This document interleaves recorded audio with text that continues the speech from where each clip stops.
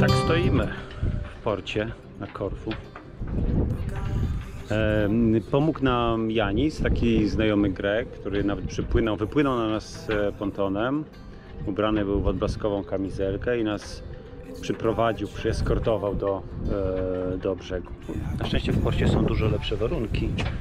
Co prawda 11 węzłów, no ale to dużo mniej niż 30, które mieliśmy przed, e, przed wejściem. Trochę się baliśmy, czy to nie będzie też mocno wiało.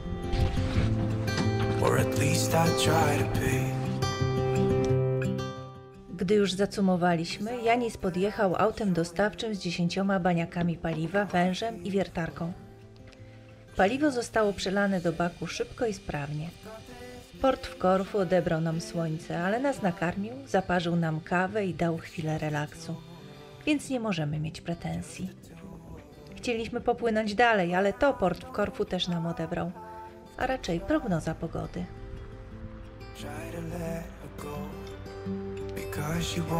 Idziemy teraz coś zjeść.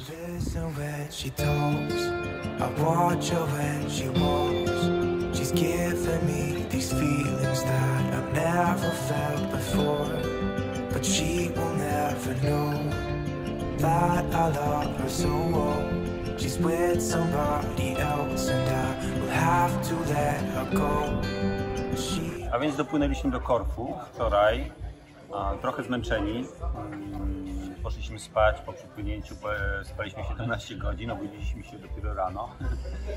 Ale e, zdecydowaliśmy, że nie płyniemy już dalej. Po pierwsze z tego powodu, że mamy dwa dni opóźnienia. E, czyli e, silnik, który, w którym skończyło nam się paliwo, zmusił nas do płynięcia na żaglach. I to pod wiatr. W związku z tym trwało to dłużej niż powinno. Dwa dni opóźnienia. Do tego jak patrzymy na prognozę pogody dalej, to e, jest 40-45 węzłów e, na tej trasie, którą mamy płynąć do Aten. A ponieważ e, pojutrze są święta, chcemy wrócić na święta, no to uznaliśmy, że nie zdążymy, no bo nie zdążymy. No i wracamy. Dzisiaj mamy wieczorem samolot z Korfu do Aten. E, tam e, spędzimy noc, jemy kolację z naszymi przyjaciółmi South Sea Sail. E, no i po południu wracamy do, do, do Warszawy.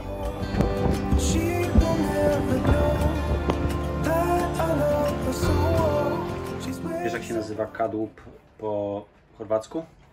Trup. Mamy dość dużo dokumentów. Po pierwsze mamy Power of Attorney, czyli takie zezwolenie od firmy, która kupiła ten jacht, po to, żebyśmy mogli y, korzystać z tej łódki, czyli ją, w zasadzie przeprowadzić. Kolejny certyfikat po francusku, który mówi o tym, e, co to jest za łódka, jaki ma numer, gdzie jest zarejestrowana, jaki jest typ silnika, 4JH5E diesel, numer seryjny i tak. Tutaj jest przegląd techniczny, e, ważność przeglądu technicznego, e, certyfikat rejestracyjny, rok e, produkcji. Patrzę, czy jest ważny. Tak, zrobiony dwu- 18 marca 2019 roku. Certyfikat. Tu jest kolejny certyfikat inspekcji tratwy ratunkowej. Ważny jeszcze kilka lat w zasadzie. To jest certyfikat przeglądu. Tutaj są cztery strony. Niestety wpadło do wody, e, no ale uratowaliśmy, czyli w zasadzie Chrystus uratował i, e, i ten, a my żeśmy wysuszyli. Więc wszystko jest na jest, czyli przeszedł przegląd. Dobrze. Lista załogi. Dwie osoby na niej. No i e, ubezpieczenie jachtu. Ważny na rok. Ważny na, na rok. Pakujemy do. Myślę, że weźmiemy ze sobą. Zapytam Christosa, co zrobić z tymi dokumentami. Zostawiliśmy łódkę w porcie. Jak się nazywał? Go... Gabriel. Gaufria. Porcie.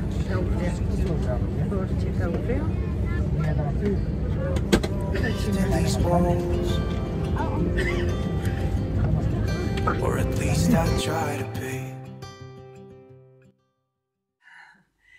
Zostawiliśmy Ewelinę w porcie na Korfu i wróciliśmy do domu. E, W domu czeka nasza córka Zosia. Święta spędziliśmy z nią i z resztą rodziny. Było miło, spokojnie, tak jak powinno być e, w święta. E, Marcin dostał od świętego Mikołaja O, kubek. tak, to jest mój kubek, bardzo fajny kubek. E, Chcieliśmy po świętach wrócić na Korfu i przeprowadzić Ewelinę dalej, aż do Lavrio, ale nasi partnerzy już zdecydowali się na inną załogę. Przyjęliśmy to z pokorą. Po świętach w Grecji pogoda nie była sprzyjająca. E, Załoga musiała zaczekać i wyruszyła z portu Gołówia w sobotę 28 grudnia. E, Na pokładzie znajdowało się dwóch skiperów i dwie osoby towarzyszące. Nie znamy e, szczegółów, nie wiemy, jakie doświadczenie mają skiperzy, ani kim były osoby towarzyszące. Zapewniono nas, że skiperzy mają wszelkie uprawnienia, co niewątpliwie jest prawdą. No dobrze, e, to jest 30 grudnia, e, jest poniedziałek, e, bardzo fajny dzień, wzięliśmy sobie dzień wolny od pracy. Odezwałem się do Christosa na Whatsappie, no i zapytałem, co z Eweliną. Jak idzie, czy wszystko jest w porządku. Odpowiedź jest e, tak, wszystko jest w porządku. Kanał koryncki poza nią ma jeszcze 50 mil do, do Lavrio. Czy silnik działa ok? Tak, e, silnik działa ok. Przepłynęli ponad 200 mil na silniku. E, filtry zostały wymienione, olej silnikowy sprawdzony, olej przekładniowy sprawdzony, żadnych wycieków. Ploter też działa, działa ok. Skipper przysłał również raport usterek, które mają być usunięte w porcie. E, Cała lista jest na naszym blogu, ale tak na szybko kilka przykładów. E, Wskaźnik wiatru e, był niedokładny, nie zgadzał się z faktycznym kierunkiem wiatru. Pompa zęzowa uruchamiała się co pół godziny. Brak inwertera 220V i tak dalej. E, My też znaleźliśmy kilka usterek, e, a jedna z nich była taka dość nieciekawa, bo zielone przednie światło nawigacyjne, czyli to po prawej e, burcie, przerywało, no co było dość niebezpieczne w nocy. Tak czy owak, Ewelina jest już blisko. Ja rozsiadłam się w fotelu. No, jacht jest już w domu. Teraz South Sea Sail zajmie się remontem i przygotowaniem do sezonu. Już mi pracowała wyobraźnia, jak żeglujemy po cykladach. Zaczęłam układać pierwsze plany wakacyjne. No właśnie, gdzie? Gdzie płyniemy? Gdzie? No, tych gdzie to jest bardzo wiele, ale na pewno chciałabym e, wrócić na, do Monewasji. no tak. E, Byliśmy tam jakieś dwa lata temu, e, ale jeden wieczór mm, i wtedy chorowałam. Przepływaliśmy akurat w trudnych warunkach i targnęło mną przez całą mesę. Myślałam, że pękła mi kość w stopie, ale nie. Byłam wyłączona z życia tylko dwa dni. Stłuczenie. To było słuczenie, tak. E, No, tak czy owak, e, tej Monembasji, którą widziałam tylko z wody, a to obłędny widok, e, żałuję i bardzo chcę tam wrócić. Nie powinno być trudno, bo to nie jest daleko.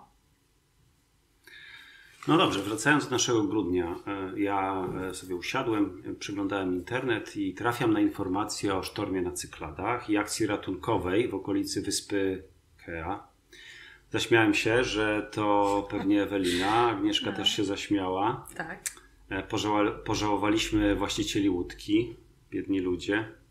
Tak im się okropnie trafiło, tak. Jakoś przez myśl nam nie przeszło, że mogłoby chodzić o nas. No bo nieszczęścia zawsze trafiają się innym. Rano następnego dnia, to jest 31 grudnia, myślimy już o wieczornej imprezie. Zwykle spędzamy Sylwestra w dwie rodziny. My i nasi przyjaciele i kuzyni jednocześnie, z którymi zresztą nierzadko żeglowaliśmy.